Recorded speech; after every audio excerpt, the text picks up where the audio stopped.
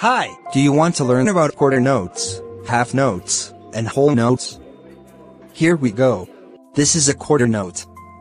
It is one beat and is common in many music genres. If a quarter note is upside down, you use it with the left hand.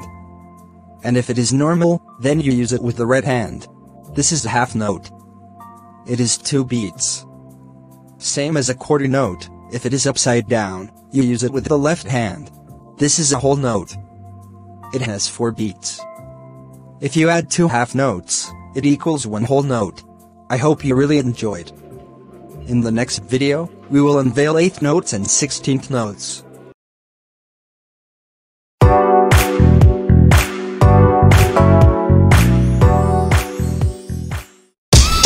Thank